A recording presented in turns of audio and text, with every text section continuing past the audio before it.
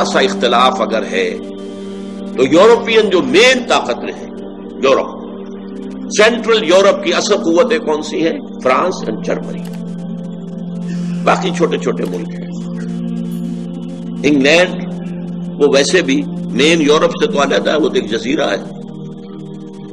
और वैसे भी वो जमीमा है यूएसए का। इस हवाले से ये जो है, यहाँ कैथोलिक आबाद है। जो कि पोप को मानते हैं, अपना सरबरा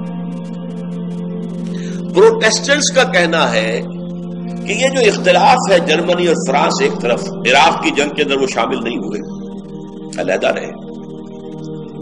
ये इख्तलाफ सिर्फ़ सियासी नहीं है। सिर्फ़ आलमी सतह पर अपने आप को एसर्ट करने का मुकाबला नहीं है। बल्कि ये इख्तलाफ मजहबी भी है। वो कैथोलिक्स है, ये प्रोटेस्टेंट्स है। और प्रोटेस्टेंट्स जो है कैथोलिक्स को काफिर कहते हैं इन्फिडल्स और पोप को शैतान कहते हैं। उनका एक रिसाला निकलता है मानामा फिलाडेल्फिया से अमेरिका से। ट्रम्पेट कुछ अरसे से मैं उसको देख रहा हूँ। उनका कहना यह है कि असल में इस वक्त जो यूरोप एक हो रहा है यह मामला सियासी नहीं है। मजहबी है। और पोप किसके दरमियान में है? असल मूविंग जो ताकत है, वो पोप की है।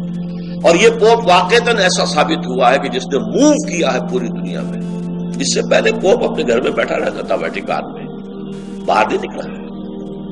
और ये पोप बढ़ापे के बावजूद सख्त तरीन कहाँ कहाँ गया?